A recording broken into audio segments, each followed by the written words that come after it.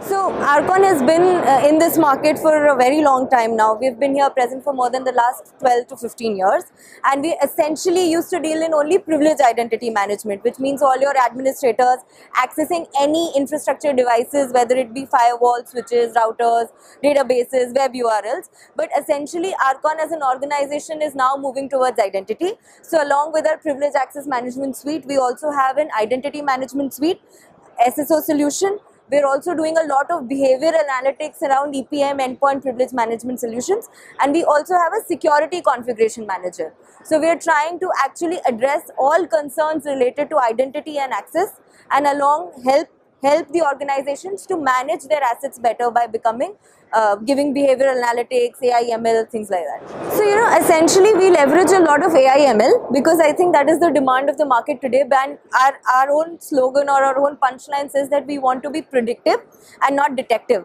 To do that, we need to move towards, you know, artificial intelligence, machine learning, be able to interpret the data and I think that is very important in today's day and age and that is where we're moving. But other than that, we are monitoring uh, all traffic across the network that is going to your data centers. We're doing a video recording, monitoring. We are GDPR compliant. We're also compliant to a lot of different other standards that are present in the uh, market and hence I think this is one solution suite or the solution suite that you offer is actually best placed for any big organization or small medium scale organization to be able to you know meet these compliances or help the administrators do better. So we're able to uh, you know uh, reduce all of this because we're able to monitor any access or any any access that is being taken to these target device. We also have a GRAS that is a remote global access solution which helps outside vendors to come in and ensure that they're only accessing their own uh, you know the access that has been defined to them. So with the advent of this work from home in the COVID culture, just in time privileges,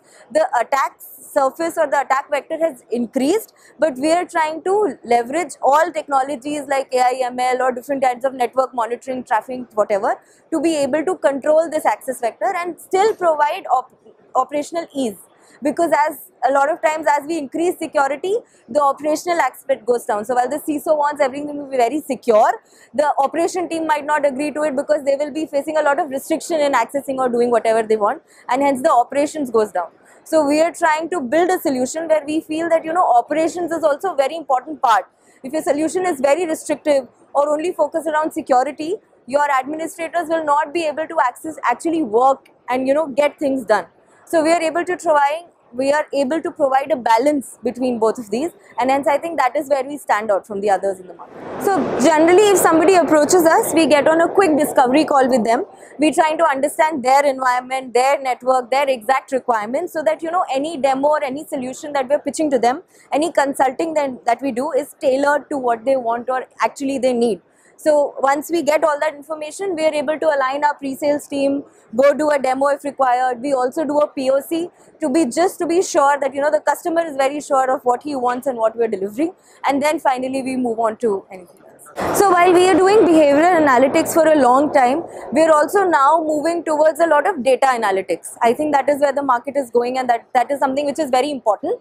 So we are trying and moving around data analytics. Data governance is something that we recently started exploring and we've also come up with a new module in our EPM solution called the Data Intellect, which we are growing with in time. But essentially that is I think where we are going.